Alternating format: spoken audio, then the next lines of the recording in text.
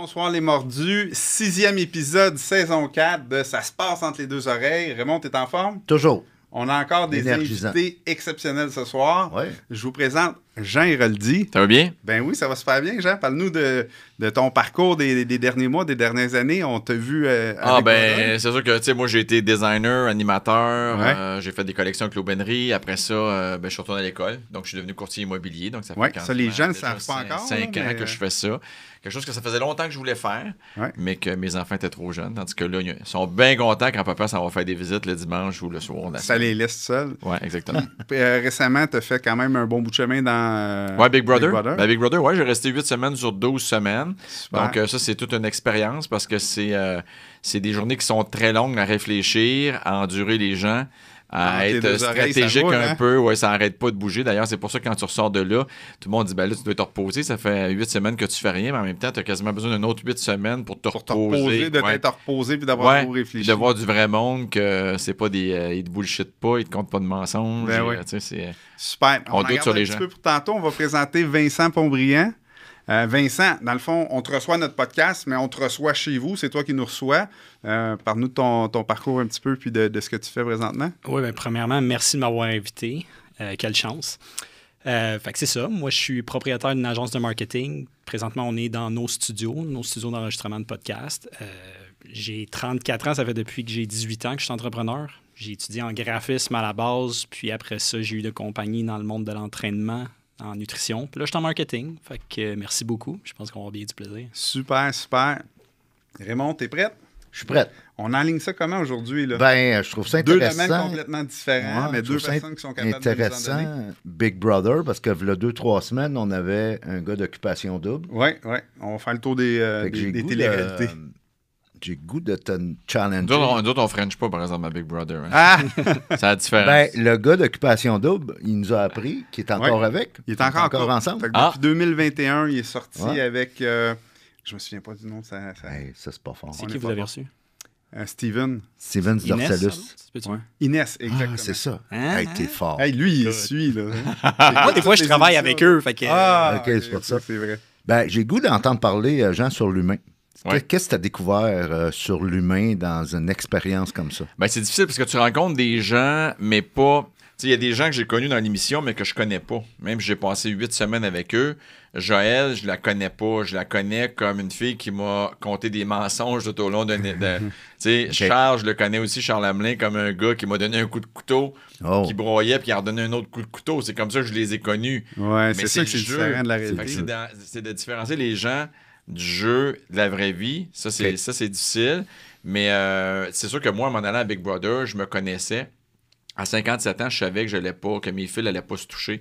Je savais que j'allais être euh, relax, que j'allais être capable d'endurer. J'ai testé, par contre, voir si c'était la- si c'était ça. Puis sincèrement, c'était pas mal ça à quoi je m'attendais. T'as-tu découvert des choses sur toi que tu savais pas que tu J'ai étais. plutôt confirmé des choses sur moi. Euh, comment faire pour se, se, se, tu se- se lier d'amitié aussi Ouais. rapidement avec des gens. Il y a des gens qui ont plus d'affinité qu'avec d'autres. Euh, Puis c'est fou parce que dans ces maisons-là, à l'intérieur d'une semaine, tu as l'impression de très bien connaître les gens.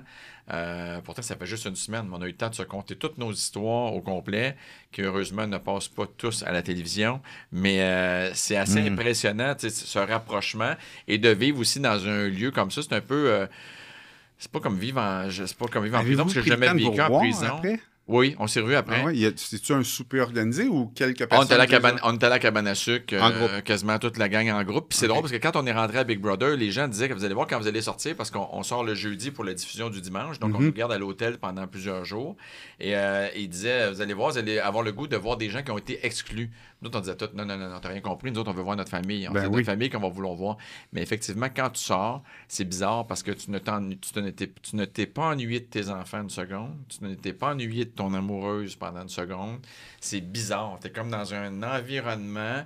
C'est pas parce qu'on avait toujours quelque chose à faire. C'est sûr qu'avoir vu ma blonde, avoir vu mes filles en vidéo, Ah, mais c'est ça, il j'ai n'y eu a des pas de émotions. il n'y a pas de téléphone, il n'y a pas de ouais, texto, c'est ça. pas de Puis on dirait que tu pas. Fait que, Loin des tu yeux, loin du cœur. Hein? T'es content de voir des gens qui ont été exclus parce que t'es comme dans la même gamique qu'eux autres. T'es Ouais. comme dans les mêmes histoires qu'eux autres. C'est les seuls qui te comprennent. Moi, mes enfants, aujourd'hui, ils n'en peuvent plus d'entendre le mot Big Brother. Là. Ah, Ils me ça. disent toujours, papa, t'as pas moyen de faire Quel âge, les phrase, enfants? 15 ans. Une de 15 qui a presque 21 et une de 17. OK. Une de 15 qui a presque 21. Je pense qu'il y a 21. OK, ouais, Ouais, c'est ça, ouais, c'est ça, ok, je comprends, je comprends. Mais ils m'ont dit, papa, on n'est plus capable de t'entendre parler de Big Brother parce qu'on dirait que ça, redevient, ça revient toujours dans les conversations. Puis les gens me posent des questions aussi par rapport à ça. Je comprends donc. Fait que c'est- c'est spécial.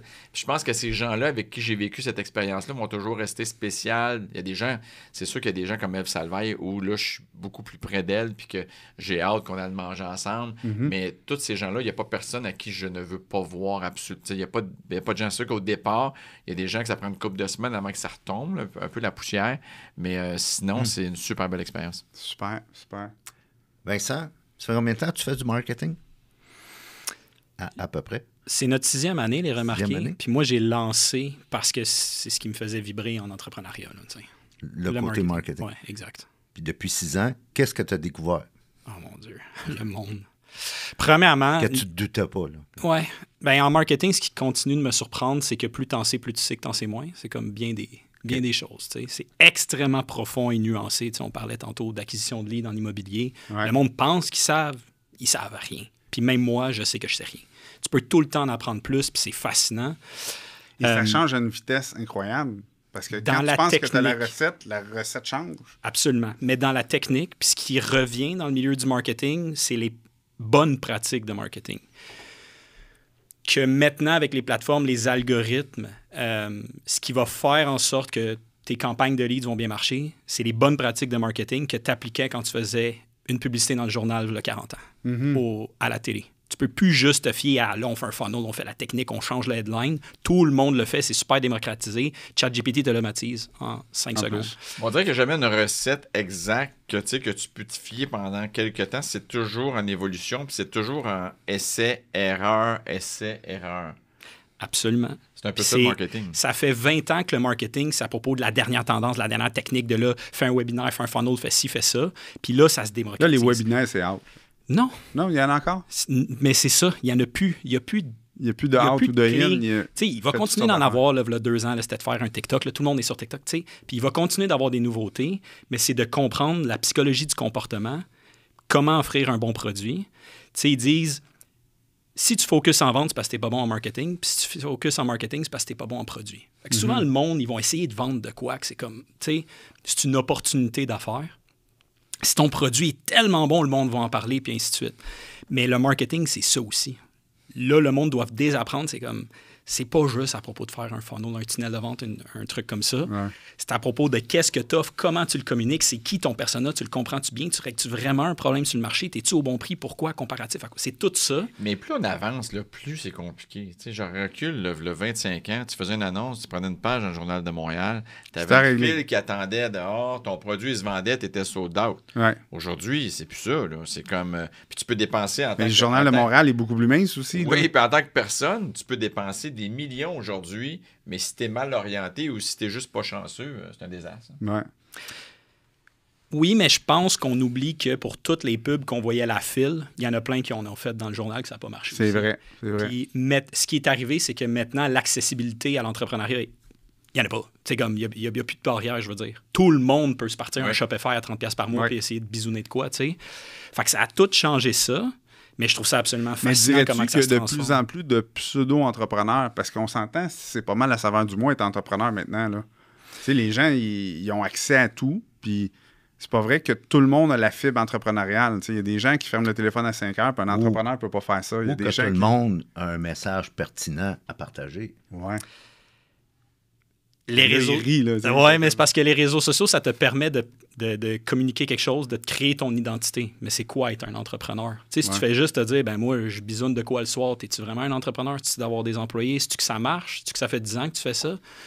Mais je ne sais pas s'il y a plus d'entrepreneurs qu'avant. Je pense qu'il y a plus accessibilité à l'information, mais il y a beaucoup de monde qui se porterait comme un entrepreneur. Mais tout Ça, le monde oui, veut être ça. son propre employeur, tout le monde veut avoir sa propre job. Puis c'est drôle parce qu'aujourd'hui, on dirait que le même produit, c'est quelqu'un qui vend un hoodie gris, là, on s'entend qu'il y a plein de monde qui a de la merge, là, c'est- ils achètent tout leur stock à la même place.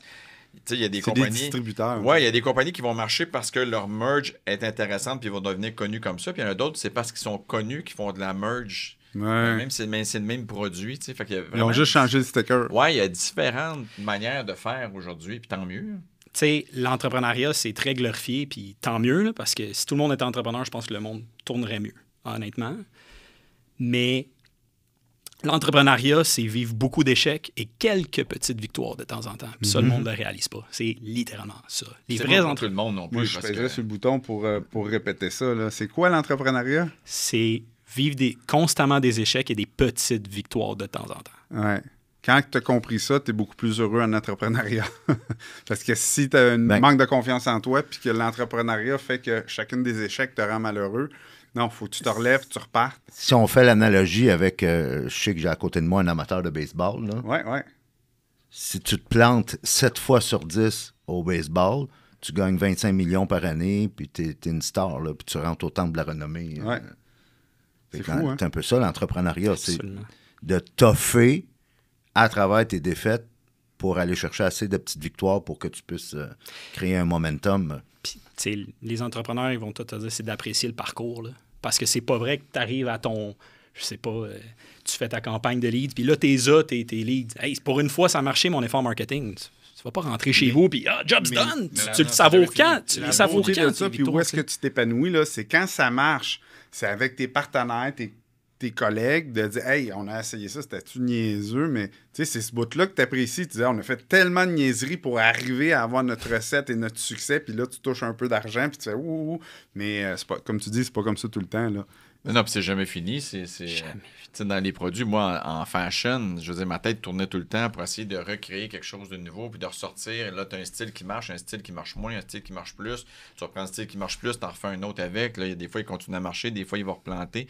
C'est toujours d'être alerte, puis c'est Ouais. toujours. Je pense qu'entrepreneur, c'est de travailler 24 heures sur 24. Il faut que ta tête, elle tourne tout le temps. si temps. tu penses que Ouais. à 5 heures chez vous, ach- achalez-moi plus, puis euh, appelez-moi plus, euh, t'es pas à bonne place, là. Non, mais pour de vrai, un entrepreneur est au cinéma, puis le film, il donne une idée, il faut qu'il prenne une note. Il n'y a pas le choix. Il prend une note, il sort ou, ou whatever. C'est tout le temps, tout le temps, tout le temps. C'est à travers euh, ce qu'on vit qu'on va aller chercher les idées qu'on a besoin. C'est ce qui fait bouger les choses aussi en proposant. Tu sais, moi, ma carrière de, de fashion a toujours marché parce que c'est moi qui proposais les affaires. Mhm. C'est moi qui appelais un producteur. J'ai une idée pour une émission de télé.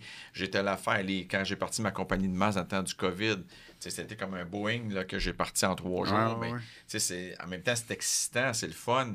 Mais c'est toi qu'il faut qu'il amène des projets. Il faut pas que tu t'attendes que ça se passe. Si tu attends après quelqu'un, Ouais, il faut vraiment mettre un pied devant l'autre. Puis il faut que tu bouges les affaires. sais, C'est c'est pas toujours évident. Quand, justement, tu amené un projet à un producteur, c'était quoi ton mindset? C'était quoi ton état d'esprit au niveau créatif, là, quand, quand tu avais pensé au projet, quand tu l'avais créé? Ben, souvent, c'est d'essayer de le voir. Tu sais, je pense que quand j'ai fait les émissions de Les habillent leur maison, où on refaisait notre maison avec mon ex-femme, puis les enfants, puis tout ça, tu sais, c'était c'était une idée que j'amenais, puis j'essayais de le... Moi, j'étais assez bon pour vendre mon propre projet? Euh, savoir où ça s'en va. Tu sais, c'est jamais des choses qui durent longtemps, parce que c'est des 13 semaines, puis après ça, on retombe. Non. On a fait la cour, on a fait le chalet, puis après ça, ça s'est arrêté là. Mais euh, tu sais, je suis en train encore de développer des projets comme ça. C'est- C'est c'est comme des petites business que tu montes. tu sais, En télé, c'est un peu ça, mais tu sais qu'il y a une fin aussi. Euh, contrairement à, euh, dans Guenille, quand, je, quand je produisais avec l'aubainerie, ben, je savais que j'avais deux collections par année. Il fallait que tel mois, il y ait tant de groupes, tel autre mois, qu'il y ait tant de groupes avec la saison, puis tout ça. Mm. Fait que ça non plus, ça, ça arrête jamais, jamais, jamais de Mhm. fonctionner. Donc, pas- c'est c'est tout le temps le, le- le futur, la vision Ouais. en anticipation qui va déterminer. Mais moi, j'étais un gars que même si mon agenda était plein, j'essayais d'en rajouter. J'ai comme l'insécurité de manquer d'ouvrage ou de manquer d'argent. OK. Fait que C'est typique, c'est comme typique de l'entrepreneur. T'essayes, puis c'est ça, ça, puis à un moment donné, tu sais, quelqu'un fait comme là, arrête de te pitcher partout, mais il y a toujours des choses qui fonctionnent pas aussi là-dedans. Mm. Puis il y a des choses qui marchent point de vue carrière, mais qui marchent pas dans le compte de banque. Il y en a d'autres qui marchent plus dans le compte de banque, puis point de vue carrière, c'est pas nécessairement ça. Je pense qu'à un moment donné, ça prend un mélange aussi de tout ça. Tu sais, il y a des, des fois du monde, ah, t'aimes ça faire ça? Ben, j'aime ça. Il y a des choses que j'aime moins, mais que j'ai pas le choix. Ah, il faut nourrir la famille. il Faut, ça. euh, tu sais, il y a des projets qu'on aime beaucoup, des fois, que c'est pas tant payant, mais Non. tu fais comme j'aime ça, faire ça. Fait que, euh, J'aime ça quand j'ai le chèque à la fin. ouais. Enfin, C'est un sujet, moi, je trouve, qui est over-glorifié de faire de quoi, de suivre ta passion. Moi, je pense pas que c'est vrai tout. Ah non. Non. Je pense, premièrement, c'est très sain. Tu sais, si tu es entrepreneur, que tu retournes chez vous et tu as ta passion dans laquelle tu peux savourer parce que tu Ouais. transformes une passion en job, ça se peut que tu ailles ça dans cinq ans. Ouais. Puis, les oppo- tu sais, c'est important de répondre à un besoin sur le marché, pas nécessairement ce que tu as envie de faire. sais, moi, j'ai une agence de marketing. Le nombre de monde qui viennent me voir, ah, j'aimerais ça, tu me fasses un site web, j'ai une idée, je vais faire ça. Puis, tu sais, moi, quand on a des clients ici, on les challenge beaucoup parce qu'on veut que ça marche. Je veux que ça marche, je veux que tu me réfères, je veux pas prendre des contrats prendre des contrats. Fait que ça arrive beaucoup qu'on challenge le monde, ils se rendent compte, ah, ça marchera ça me pas. Tente pas de faire ça. Ben, ça, ben, marchera pas. Tu réponds pas à un besoin sur le marché, tu le fais pour toi. Garde-le en hobby. C'est parce que Vincent, la passion, c'est pas le bon chemin les affaires qui me passionnent, moi, c'est pas ce qui me rapporte financièrement. Ce qui me rapporte financièrement puis qui me nourrit spirituellement, ça n'a rien à voir avec la passion. Ça a plutôt à voir avec mon why, avec mon pourquoi? Pourquoi je me lève le matin? Puis c'est dans le service. Fait que moi, j'ai découvert avec le temps que j'aime aider des gens qui aiment aider des gens. c'est pour ça que je coach des coachs, je coach des entrepreneurs, je coach des investisseurs immobiliers, je coach des conférenciers, je coach des gens qui veulent aider des gens. Vous rêvez d'agrandir votre parc immobilier, mais vous vous sentez submergé par la paperasse. Les tâches administratives vous volent un temps précieux? Nous vous recommandons Plexflow, le logiciel de gestion locative centralisé qui automatise vos tâches administratives et vous permet de rester concentré sur vos objectifs de croissance. Rendez-vous sur plexflow.ca pour un essai gratuit de 30 jours. Puis, tu peux pas dire que je suis passionné parce que ça me fait pas sauter au plafond, sauf que j'ai pas de down, par exemple. Mm-hmm. C'est que mon niveau de dopamine est comme stabilisé. Fait que je recherche pas les highs, mais j'ai pas de down. Mm. Puis à chaque matin, j'ai une raison de me lever, 7 jours par Ah, semaine. Moi, aussi, moi, j'ai toujours aimé me lever pour aller travailler. J'ai toujours Ben, aimé. Il y a des affaires que tu aimes moins dans, dans ce que Ouais. tu as à faire, mais en général, là, j'en connais des gens qui se lèvent, qui se lèvent que pour la paye, puis ils trouvent ça plate à chaque Eh matin. boy. Moi, je pense que ça prend un peu de passion, parce que pas de passion, je suis pas sûr que j'aurais toffé tout ce temps-là avec les difficultés, parce que les, dif- les difficultés de départ, c'est bien beau là, quand ça fait 20 ans que tu es en affaires, puis tu as un bon chiffre d'affaires, puis tu as un beau chèque à la fin. Mais les premières années là, de vache là, moi, je les ai vécues là, à l'âge de 18 ans jusqu'à 30 ans. Là, une chance que maman était là, puis que Ouais. j'avais beaucoup d'aide. Mais si Mhm. la passion n'avait pas été là, ou l'innocence aussi en même temps, mais euh, si ça n'avait Ouais. pas été là, ça aurait jamais, je serais jamais arrivé à mon but de gagner des Mais- griffes mais je d'or, pense que l'innocence est importante Ouais. aussi. Avoir un cœur d'enfant dans ce qu'on fait. Ouais. Parce que ce cœur d'enfant-là nous garde groundés à vouloir le meilleur. Puis, tu sais, on, on se met pas à chercher les bébites d'adultes. Si tu gardes ton cœur d'enfant dans ce que tu fais, dans ta business, ben euh, la- la petite voix là, qui, qui t'empêche d'avancer est un peu moins présente, me semble. C'est juste que je trouve qu'il y a beaucoup de gens qui se lancent en affaires sans avoir ce que ça prend. Puis j'en fais un peu partie. Mhm. C'est-à-dire que, tu sais, moi, je dis tout le temps aux gens qui veulent aller étudier en mode ou en n'importe quoi, puis qui ont des projets, je leur dis, va suivre des études en administration pour, pour comprendre les chiffres en premier, pour savoir où tu t'en vas, puis ça va aller beaucoup mieux après. Ça, moi, je ne l'avais pas. Fait que tu as bien beau, à un moment donné, commencer à vendre, commencer. Mais quand tu n'as pas cette base-là solide, ça Ouais. fait qu'à un moment donné, tu floppes parce que. Oh, on a une pépite d'or Ben, que ça prend. J'aime ça, puis Jean, je vais traduire ça, si tu me permets, avec le. Quand, quand tu as parlé de chiffre d'administration, je vais traduire ça par business.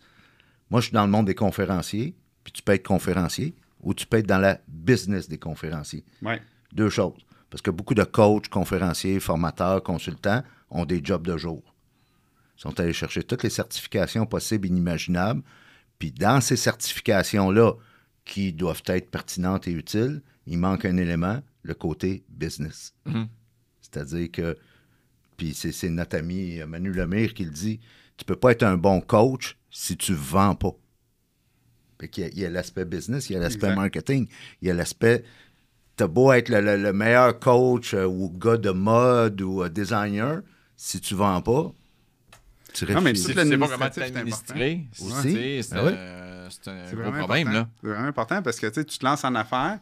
Si tu apprends sur le tas, tu vas faire des erreurs. Puis fais une erreur dans ton rapport de TPS TVQ, tu vas voir que ça coûte cher cher, en ouais. pénalité. Ouais. Fait que tu sais, il faut, faut que tu le saches ça à la base. Puis c'est pas l'école qui va nous montrer ça. Là. Non. Tu sors du cégep, tu sais pas c'est quoi exact un rapport de TPS TVQ. Tu sais que faut que tu le perçoives, mais tu fais ça comment percevoir ça pour les. Tu sais, dans le fond, tu es juste un entremetteur entre les, les, les- les consommateurs. Parce que je trouve qu'aujourd'hui aussi, avec tous les Instagram, puis tout ça, tout a l'air beau, tout a l'air facile, tout le monde a l'air riche, tout le monde a un gros bateau, tout le monde est...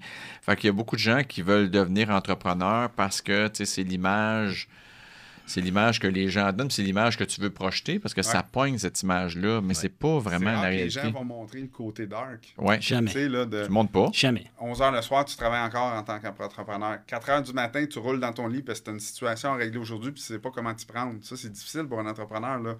J'ai pas la ressource. Comment je fais pour régler ce problème-là? Ça me ronge par en dedans. J'ai des employés. Eux autres, là, ils ont une paye le jeudi. Là. Moi, il faut que je la dépose le mardi puis qu'elle se rentre dans leur compte le jeudi. Puis il faut que ça soit là le jeudi. Là. Puis là, Ouais. si j'ai pas le cash flow qu'il faut, pour, qu'il faut pour le faire, mais cette pression-là, en tant qu'entrepreneur, est difficile à suivre. Là. faut que tu travailles entre tes deux oreilles en tabarouette pour surmonter cette pression-là. Ben, Les médias sociaux, c'est vraiment particulier parce que tu sais, la personne qui publie euh, son nouveau bateau, il ne publie pas son paiement. là. Le Non. stress que ça y cause de le payer, là, tu te dis ah, comment ça, lui, il est capable de se payer un bateau? Ben, il fait peut-être pas les mêmes choix que toi. Tu connais pas son compte, tu connais pas son contexte. ouais, C'est peut-être C'est pas son fou. bateau. C'est peut-être pas son bateau. Hey, j'en- vois un de, de ce temps-ci, j'ai l'impression qu'il prend des photos de tous les beaux chars, puis là, il dit, ah, je sors mon petit bijou bientôt, mais, tu sais, c'est pas la même plaque. C'est pas le même. Mm. c'est- un char semblable. Fait que, Ben, c'est drôle, ça n'a Ouais. pas rapport aux affaires, mais c'est la même affaire. Moi, je, moi, je connais quelqu'un qui dit Ah, j'aimerais ça rencontrer une fille tu sais, qui est là pour les bonnes valeurs, puis qui est là pour les bonnes affaires. J'ai dit Oui, mais t'as-tu vu ton Instagram Ton Mhm. Instagram, tu te prends en photo d'une tour à Miami, tu te prends dans un bateau, le yacht, le ci, le ça. T'intimides toutes les belles et bonnes filles que qui tu que penses que tu vas aller chercher? Tu vas aller chercher une fille qui cherche ça? Une groupie. Fait que c'est ça. Fait que, tu sais, des fois, les réseaux sociaux, il faut faire vraiment, vraiment attention à l'image que tu dégages. Ça, ça devrait être le prochain cours. Tu sais, moi, en économie familiale, ils m'ont montré à faire des boxeurs que je n'aurais jamais besoin de faire moi-même. Tu sais, ça coûte 8 piastres, une paire de boxeurs à la limite. Mais ils devraient montrer comment gérer ton image sur les réseaux sociaux aussi. Oui. Parce qu'il y a bien des gens qui ont oublié que c'était public, ça. Et c'est non, non, c'est juste mes amis. Non, non, c'est pas juste tes amis. Tout le monde voit ça. là. C'est sûr que tes amis vont te voir plus. Tu vas pouvoir communiquer plus avec Parce que eux. c'est tentant aussi, parce que tu sais, la fille, elle se met en maillot de bain, puis elle va avoir euh, peut-être 50 000 euh, followers de plus qui vont s'ajouter à cause de ça. Ouais. Fait que c'est c'est- c'est ça qui est mané, tu sais, c'est c'est quoi que tu euh, c'est quoi que tu gardes là-dedans, puis c'est quoi que tu veux. Mhm. C'est le dernier chapitre dans notre livre. On parle de branding personnel. Ah ouais? Puis ce qu'on dit, c'était pas encore là. Je ne l'avais pas lu. que tu le lises. Ce qu'on dit, c'est qu'un branding personnel, t'en as un en 2024, que tu le veuilles ou non, Que que tu tu en le veuilles ou prennes soin ou non, OK, je m'en t'en souviens. Là. t'en as un. Puis c'est ton branding personnel, dans le fond, c'est ce que t'attires. Puis les gens prennent pas le temps de le, de, de- de- de le faire consciemment et intelligemment. Les réseaux sociaux, c'est vite. Hey, je vis ça, je le prends. Hey, j'ai la chance de masser dans une Ferrari, je la rentre. J'ai la chance de faire ci, euh, je suis à telle place tout le temps. Mais à un moment donné, moi, quand je vois quelqu'un qui, à tous les soirs, il est soit dans un bar, un événement festif, un verre à la main, euh, puis c'est un avocat, je me dis, Christy, il fait des procès quand à travers ça, lui, tu sais, ou il arrive dans quel état ces procès-là? C'est pas une belle image pour lui, là. Tu sais, il faut penser à ces choses-là, là. Oui, absolument. Non, puis c'est aussi de regarder des fois sur les réseaux sociaux les personnes connues que je trouve là, euh, beaucoup de gens vendent des choses. Puis à un moment donné, quand tu regardes les réseaux sociaux, c'est comme ils peuvent-tu arrêter de me vendre quelque chose? C'est pas. Ouais. C'est de faire le bon balancement entre tu donnes de l'information, tu donnes des choses intéressantes. Tu sais, tu sais, les posts qui vont chercher le plus, c'est pas quand tu essaies de vendre quelque chose. C'est quand euh, Tu vis une quelque chose, situation, tu- tu- ouais, quelque chose qui est montres des personnel, émotions, une ouais. situation, un problème qui est arrivé. C'est là que tu vas aller chercher le plus de monde. Mais euh, des fois, les gens sont beaucoup dans. Essayer de pousser, pousser, pousser, pousser. Les gens négligent euh, la puissance des histoires. Je suis tombé sur, euh, puis ça, ça va peut-être intéresser Vincent. C'était sur eBay, puis on vendait des bidules, là, niaiseux, là, un crayon, un stylo, euh, un paquet de trombones à 50 cents, une pièce. Et là, ils ont fait le test de raconter une histoire autour de- du bidule. Puis là, c'était rendu 10 pièces, 15 pièces, 20 pièces. C'est qu'on on- on décuplait la valeur de l'objet Mais c'est le juste, même objet. juste parce qu'il y avait une histoire qui était attachée à l'objet. Hmm. Puis je pense que c'est ce qu'on oublie souvent de faire. On parle de chiffres, on parle de Ouais. ratio, on parle de, de- d'information. On oublie de parler au côté Le droit. du story selling. Ben oui. Ça revient, c'est un peu, ça c'est le principe que j'essayais de communiquer tantôt. tu sais. Ça c'est le vrai pur marketing. Ouais. La psychologie du comportement. C'est pas une technique, tu sais. c'est ça de fait rendre quelque chose, le trombone intéressant. Pourquoi, comment, pourquoi quelqu'un va Il l'acheter, a pourquoi quelqu'un appartenu à Tom Hanks. genre, tu sais. Mais Ben, c'est pour ça que souvent, le même coton ouetté est fait à la même place. Il y en a un qui va être 600, puis à l'autre place, il va être 29,99. C'est le même maudit coton ouetté. là. Ouais. C'est le branding qu'il y a dedans. Mais le branding, c'est pas, c'est pas juste le branding. Souvent, c'est la publicité. C'est celui qui va être dans tous les magazines de mode, qui va être sur tous les panneaux réclames à New York. Ça Ou qu'un individu très euh, à la mode Connu. va avoir porté. Ouais. Tu sais, ça, ça, on a vu ça souvent. hein, Ils portent une marque, puis là, après ça, oups, la marque, ça, ça, Ça monte. s'envole. Ouais. Donc, tantôt, nos T-shirts vont valoir. Ouais, ils vont se vendre en tabarouette. On sait jamais. C'est jamais, hein? Préparez-vous. Ouais. Moi, je serais curieux d'entendre, Jean, quand tu t'es présenté, tout le monde te ceux, ceux qui te connaissent du moins, le designer, la mode, la télé, ainsi de suite. Puis là, tu disais, ça faisait des années que tu étais intéressé par l'immobilier. Mhm. Tu attendais que tes, tes filles, tes Ouais. enfants soient plus grands. Qu'est-ce qui t'intéressait? Qu'est-ce qui t'attirait? euh, Ben moi, j'ai, premièrement, j'ai toujours aimé visiter des maisons. Fait que Ah, j'aimerais ça, moi, avoir la clé du Père Noël, là, que tout arrête, là, puis qu'il peut aller dans toutes les maisons, puis rentrer, puis tout aller voir. Je, je me pose souvent la question, des fois, dans des grosses maisons, des vieilles, tu sais, quand tu vas dans le Maine, il y a des vieilles grosses maisons, Ouais. là, dans le Rhode Island aussi. Euh, puis je me dis tout le temps, ah, comment c'est fait dans ces maisons-là? Mm. J'aime ça regarder des magazines de rénovation aussi, mais c'est aussi l'approche avec les gens, parce que souvent, en immobilier, c'est pas des gens, c'est pas tous des gens qui vendent pour acheter quelque chose de plus gros puis plus beau. Souvent, c'est des gens qui euh, ont un super chalet sur le bord de l'eau, ils ont plus l'âge pour entretenir le terrain, euh, qui sont, euh, sont obligés de vendre. Donc, c'est Ouais. d'accompagner ces gens-là aussi, mais sans les brusquer. Ça, j'ai- j'aime beaucoup faire cet Mais accompagnement-là. toi, tu es en train de mixer, fusionner l'aspect, le designer en toi qui aimait les maisons, l'architecture, Ouais. avec le côté humain. le côté humain que j'ai toujours eu en mode parce que moi, j'ai toujours été le designer qui prenait la, la tendance internationale, mais qui l'amenait accessible. Ouais. Moi, j'écrivais au Journal de Montréal, j'étais à Salut Bonjour. C'était tout le temps des affaires qu'il fallait que ça coûte pas cher, puis que ce soit très, très, très accessible. Tu tentais de démocratiser. C'est ça. la- Fait que, tu sais, la madame qui, qui aimait pas telle partie de son corps ou qui voulait paraître de. C'est un peu la même approche que. Moi, je me souviens de contravention de style. Ouais, ça, c'est autre chose. Ça, c'était drôle. Hein? Ouais, ça, c'est autre chose. ça. vraiment très Ça, drôle. ça fait 15 ans, les gens s'en rappellent encore. Ils se rappellent pas personne de quel show ça faisait partie, parce que c'était une chronique de deux minutes dans un show. Dans quel ça? show? T'en rappelles pas? Ouais, hein? non. non, Ça pour une sortie. C'était Ah des oui, oui, que je prenais oui. puis que je, que, Puis là, que je transformais. On tirait les rideaux, puis ils Ah, se revoyaient ouais, comme, c'est- dans, comme au premier jour pour réanimer la flamme. Mais là, moi, je suis curieux parce que j'utilise cette, express, euh, cette dynamique-là dans cette émission-là avec mes clients qui élèvent leur niveau de conscience. C'est-à-dire, moi, je coach des clients. J'en ai même un dernièrement, il voulait que je coach aussi sa blonde parce qu'il disait, je veux qu'elle grandisse en même temps que moi. OK, ben Je oui, veux que-. Si moi, là, j'améliore mon mindset, j'améliore ma productivité, j'améliore ma vision, je veux qu'elle suive. Parce que souvent, ces gens-là vont perdre des amis Ouais. Parce qu'ils s'élèvent à un autre niveau, puis là, ils ne reconnaissent plus leurs amis et vice-versa. Ouais. Fait que là, quand tu faisais ça, Ouais. ces, ces, mat- ces- ces Ouais. transformations-là, Ça m'est déjà arrivé à la fin de la journée qui est arrivé avec son chum qui manquait une dent puis il fitait plus avec aussi. ben c'est ça. C'est le risque. C'est le risque, hein? Mais probablement qu'il est revenu à ce qu'il avait l'air avant, quelques semaines après. Ouais. Mais ça, tu tu peux pas décider pour quelqu'un, euh, Ben même, même, même dans le cas d'un makeover, tu peux pas décider que la personne, on va la faire évoluer, il faut que ça vienne d'elle. Sais, comme ton gars qui dit ma blonde, j'aimerais ça, mais ça ne le regarde pas lui. C'est elle qui a, besoin Non. qui a ce besoin-là. Ça va marcher. Sinon, il est mieux de s'en aller avec quelqu'un d'autre qui va, qui va fitter avec. t'as un très bon point. Puis d'ailleurs, euh, avant de euh, coacher sa blonde, on a vérifié que ça y tentait. là. Oui, parce qu'il faut, que ce soit- faut que ce soit elle qui a un besoin de ça. Moi, si quelqu'un vient me voir et me dit euh, euh, tu sais, j'ai une petite rondeur, j'aimerais ça, comment m'habiller pour telle raison, je vais lui donner des conseils. Mais c'est bien que c'est rondeur, moi, j'ai aucun problème avec ça. Ouais. Sais, moi, j'irai jamais dire à quelqu'un Hey, ça serait plus beau si tu mettais du noir en haut, de la couleur en bas, plutôt que le contraire, qu'est-ce que tu fais là? Parce que telle, telle raison. Je dirais pas ça. Dans le temps des contraventions de style, on est un petit peu plus audacieux. Ça se ferait plus aujourd'hui d'ailleurs. Non, Mais, hein. euh, Il n'y a plus on- grand-chose qui se fait aujourd'hui. non, c'est ça. On, les, on, les, on, on le verrait par contre. euh, moi, j'allais les voir puis je leur disais ben, Viens avec moi, je vais t'aider.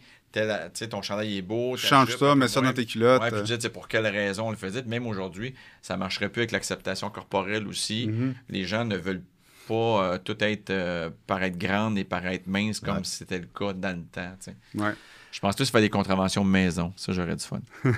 Wow. Hey, c'est bon, ça. Hum, c'est déjà lancé. On attend des nouvelles. Mais moi, je, moi, je viens tout juste de vendre la plus laide maison de Saint-Hubert. Tu? Ça fait quoi, 15 ans, je me promène dans des conférences, puis je dis, j'avais acheté une maison, la première maison en investissement que j'ai achetée, puis j'avais comme un attachement, puis ça a donné qu'il a fallu que je la garde une couple d'années. Puis là, je l'ai loué à un bon locataire qui est resté là super longtemps, malheureusement, euh, dû à sa santé, dû s'en aller.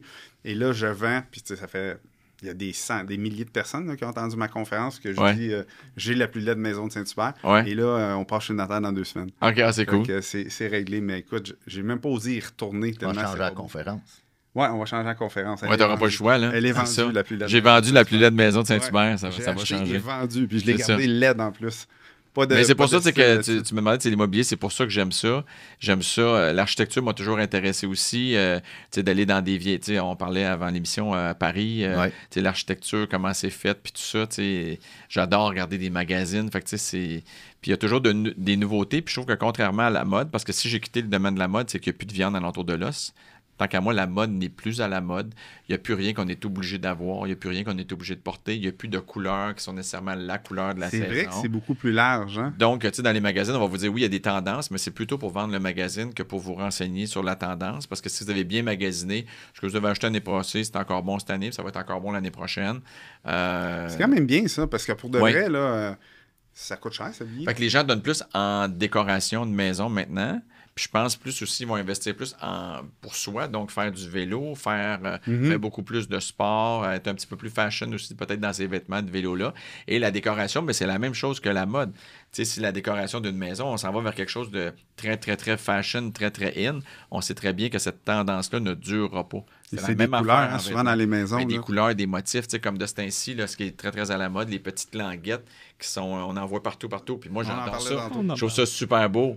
Puis je vais peut-être en mettre dans ma maison. Mais je sais qu'en faisant ça, je sais que ça ne durera pas des années. Comme la céramique avec des motifs un peu espagnols. Ouais, là, ouais, ouais. Tu sais, qu'on met dans des salles de lavage, dans des salles de bain. Moi, j'ai fait un backsplash à ma maison euh, que j'ai un Airbnb à Tremblant. Puis ma fille m'a dit, tu sais, papa, que si tu mets ça dans 5 ans, tu vas être tanné. Je dis, moi, je le sais, mais là, vu que c'est en location. Mais les bains verts kaki sont venus. Les quoi? Les bains verts kaki, là, tu sais, les, les ensembles Ouais, mais quand, bains tu, de ouais, mais quand tu vas euh, repasser, ça va être aussi lettre que ça l'était comme là. tu sais. exact. Fait que, tu sais, il faut toujours, toujours faire bon, attention.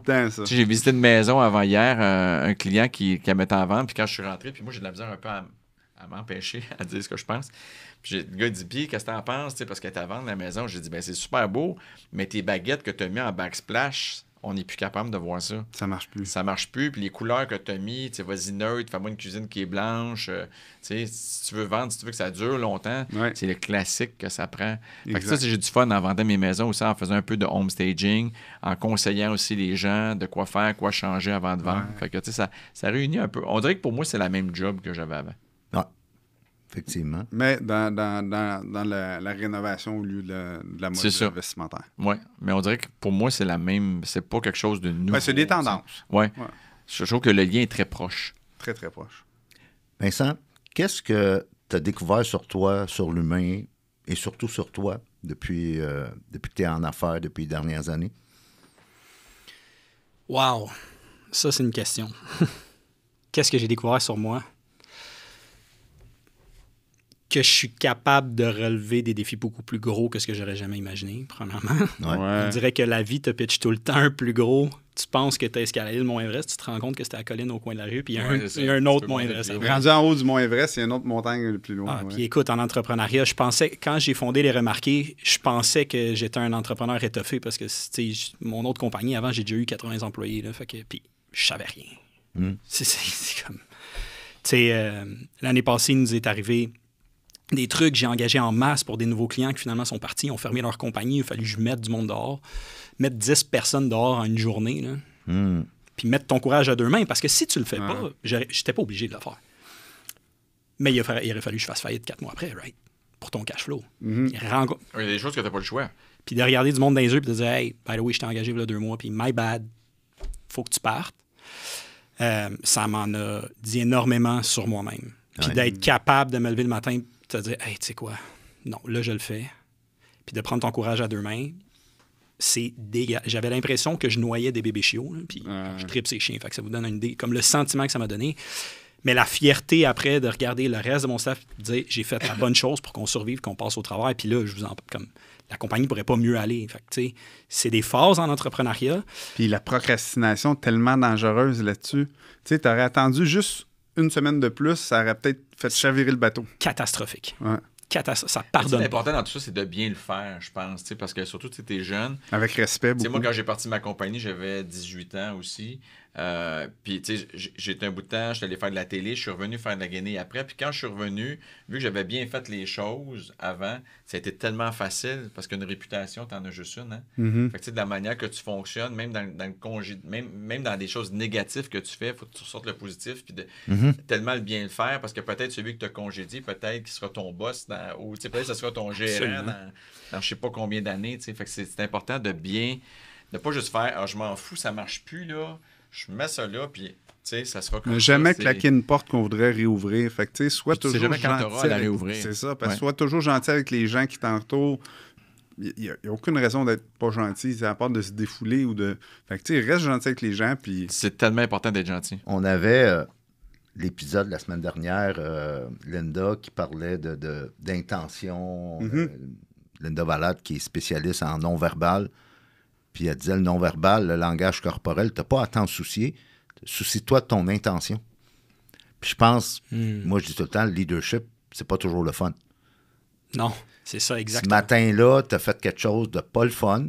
Tu pas prétendu que c'était le fun, sauf que ton intention était noble. Ah, puis je vous dis, messieurs, sur 10 personnes, il y en a plus que la moitié que j'étais tout chamboulé, puis je leur disais, puis ils me disaient, hey, tu sais, c'est pas grave, là, ça va être comme. J'espère que t'es correct. Ils pensaient à moi. J'étais acheté comme. pour toi que pour eux. hein. Définitivement, tu sais, parce que moi, j'ai des jeunes, là, je suis le plus vieux de ma gang, là, tu sais, puis je suis pas inquiète pour eux, mais c'est tough à faire, c'est pas le fun, tu sais. Puis ils, ils pensaient à moi, ils étaient comme, tu sais, tu vas-tu être correct, ça va-tu? Tu sais, Ça- t'es- chamboulé. Je fais, fait de la bonne façon. Ouais, ben, tu sais, avec ton cœur, tu sais. Vraiment. Puis beaucoup, je pense, parce que tu avais engagé les bonnes personnes. Absolument. Parce que, souvent, en entrepreneuriat, c'est ce qu'on fait de tout croche, c'est d'engager les mauvaises personnes au mauvais endroit. C'est pas que c'est pas des bonnes personnes, ils sont juste pas à bonne place. sont- Fait que, tu sais, quand tu engages les bonnes personnes au bon, aux bons endroits, ils se sentent sur leur X, ils réagissent comme des gens qui sont sur leur X. Si tu as quelqu'un qui est pas à sa place puis qui se sent comme de la merde dans ton entreprise parce qu'il a été mal engagé, on l'a mal, on l'a mal positionné, ben il va te répondre, il va te donner un, output comme de la merde aussi. là, Ouais. tu sais. Mais tu sais, ça, c'est un peu aussi dans, dans le genre quand quelqu'un vient te voir comme euh, boss, puis qui vient te dire euh, Écoute, je vais quitter dans trois semaines parce que j'ai eu l'opportunité d'aller ailleurs. Moi, je trouve que comme employeur, c'est d'être. C'est sûr, que ça, c'est sûr que ça peut être une catastrophe, puis que tu peux être en maudit, mais il y a quand même une bonne nouvelle là-dedans tout Ouais. le temps. Absolument. ces employés-là, des encourager à aller cheminer. Puis ça, c'est pas toutes les compagnies qui sont comme ça. Il y a des gens qu'un coup, tu as quitté, Mm. t'es le pire trou de cul qui était, mais Ouais. pourtant, dans le temps, tu faisais très bien les affaires. Exact. Je trouve que c'est de garder justement tout le temps ça en tête. Euh, tu sais, parce que tu as congédié du monde, mais tu as du monde qui peut venir te voir aussi pour dire je m'en vais ailleurs. De garder la même. Mais même pour relancer ce que tu important. dis, là, moi, ça m'a toujours fait plaisir quelqu'un qui avait de l'évolution. Moi aussi. Mais j'ai toujours trouvé le 2-3 semaines beaucoup trop court. Oui. Il t'annonce ça le mercredi. Fait que là, tu fais OK, là, il faut que je trouve quelqu'un qui va dire à son boss 2-3 semaines aussi. Ça veut dire que dans 2-3 semaines, il n'y a plus personne à ce poste-là. Ouais. L'autre ne pourra pas le former. C'est la même chose quand tu engages quelqu'un, puis si la personne te disait Ouais, je vais, je vais venir, mais, mais ça va être trois mois. Je vais arriver dans trois mois. Ça, mais non, ça, pas, j'ai fonctionne besoin de Ça toi fonctionne là. pas. là. Ça, c'est un gros défi pour les entrepreneurs. ouais, ouais, c'est des deux bords. Ouais. Puis l'entrepreneur est obligé de patcher pendant ce temps-là. C'est Ouais. lui, c'est sa qualité de vie, c'est ses enfants, c'est sa famille qui ne verra pas puis qui va. C'est sa business. qui va exact. Ça passe tout le temps trop vite. On arrive à la fin de, de l'entrevue. Si je vous demandais comme mot de la fin à chacun, on a une communauté d'entrepreneurs, d'investisseurs immobiliers, de gens qui débutent, beaucoup débutent en affaires ou en investissement immobilier. Basé sur votre expérience des dernières années, là, sur votre histoire, sur ce que vous avez appris, vos leçons, quel message vous donneriez pour tenter d'encourager, d'inspirer nos, nos gens, notre communauté? Ben, quoi dire? Moi, je, je pense qu'il faut que tu aimes ce que tu fais, puis il faut que tu. euh, c'est pas tout le monde qui peut être entrepreneur. Il y a des gens pour qui ça, serait un mal de tête à temps plein. Moi, j'ai, tu sais, j'ai une famille qui c'est des ouvriers, de très, très bons ouvriers, la famille de ma mère. Eux, là, ce qui leur rassure dans la vie, c'est de commencer à 8 heures et de finir à 5 heures. Demande-leur pas de devenir entrepreneur, ça marchera Ça pas. marchera pas. Fait que Ouais. c'est d'être à la bonne place, d'être sur son X finalement. Tu sais, c'est comme si tu me demandes, moi, d'être lutteur sumo, ça se pourrait que j'y arrive pas. C'est d'être dans ton, dans ton univers où tu te sens vraiment bien. Pourquoi? Parce qu'il faut être gros ou parce Ben- qu'ils ne sont pas bien habillés? Non, parce qu'il faut, que tu- ben, faut, que tu- faut que tu sois très gros. Comme la mannequin, il faut qu'elle soit très mince. C'est d'être sur ton. d'avoir ce que ça prend pour le Exact. faire. Puis de- de- d'être capable de foncer, d'être capable de prendre le risque également. Euh, c'est ce que ça prend pour être entrepreneur. Sinon, tu sais, gardez votre petit job de. de- ben, je dis une petite job, c'est même pas un petit job, ça peut être une grosse job parce que la job qui font mes ongles de 8 à 5, Ah oui. je la ferai pas, cette job-là. C'est beaucoup plus dur. Ils font 40 heures par semaine, mais c'est beaucoup plus dur que moi qui en travaille 90 heures par semaine. Fait que c'est juste comme d'être à la bonne place où on est supposé d'être. On peut faire des tentatives, puis des fois, on va être agréablement surpris de ne pas rester juste dans, dans, dans ce qu'on en fait. C'est le fun ce que tu dis parce que faire les tentatives, c'est ça qui nous permet d'apprendre à nous connaître. Ouais. Fait que tu sais, si tu pars avec une bonne, une bonne, euh, un bon mindset à dire ben, c'est une tentative, puis je vais tout donner ce que j'ai pendant que je vais être là, puis je vais apprendre, puis je vais cheminer vers ce que je vais peut-être vouloir vraiment faire plus tard. Parce que je pense qu'aujourd'hui, il y a beaucoup trop de, de laisser-aller de gens qui font comme je viens pour la paye, puis Ouais. euh, je l'ai essayé, j'aime pas ça, mais je procrastine à l'ailleurs. Ouais. Fait que, tu sais, ça, ça fait qu'on a une société de un petit peu moins le fun. de ne pas se laisser décourager aux, aux premières euh, choses négatives. tu sais. Il faut passer, on est. tu sais, Je comprends à un moment donné que tu sais, si on n'arrive plus, on est En recherche de solutions. Qu'on doit tant d'argent à la banque, à un moment donné, c'est moins le fun. Ouais. Mais on peut, c'est ça, être à la recherche Mm-hmm. de solutions, de, de gens qui peuvent nous aider, d'avoir une bonne, un bon entourage, ce qui est très important aussi. Mm-hmm. dans- tu sais, quand tu es jeune, tu veux partir en affaires, tu es mieux d'avoir du monde en arrière de toi un peu. parce Ouais, que ben oui. L'équipe. Ça va pas Les bien. contacts, l'équipe. Ouais. euh, le- Absolument. Écoute, moi, je vais laisser un mot de la fin à propos du marketing. Je Ben vais oui. prêcher à ma paroisse. Je pense que dans notre société, actuellement, on a une culture obsédée par le headline puis tirer les choses hors de contexte, de prendre un extrait du podcast aujourd'hui, quelque chose que tu as dit, puis le flipper à l'envers. Puis le monde sont très, très, très, très, très cyniques sur les réseaux sociaux. Ils voient les choses très négativement, et beaucoup de négativité. Puis le monde sont incroyablement inquiets avec le AI, ça va-tu remplacer nos jobs? Puis moi, ce que j'ai envie de laisser le, le monde, parce que je pense beaucoup à ça, puis je suis tout le temps là-dedans, c'est faites-vous-en pas, ça va que être positif Ben oui. l'interaction avec le AI, toutes ces choses-là. On va se rappeler des réseaux sociaux, puis la passe plus difficile qu'on a vécue là. Dans 25 ans, on va refléter sur l'humanité, Ouais. puis 25 ans, puis ça va avoir fait ressortir le meilleur de nous-mêmes. Ouais. C'est le mot que j'ai envie de laisser aux gens, inquiétez-vous pas. Ben, merci beaucoup. Merci. Merci Vincent. Merci Jean. Ça fait Merci plaisir. beaucoup, messieurs. Très intéressant comme conversation. C'était super, hein, Raymond? Ouais. On a de la chance hein, de faire ça. Hein. Quatrième saison, pensez-y. Donc, les mordus, on se revoit la semaine prochaine, même heure, même poste.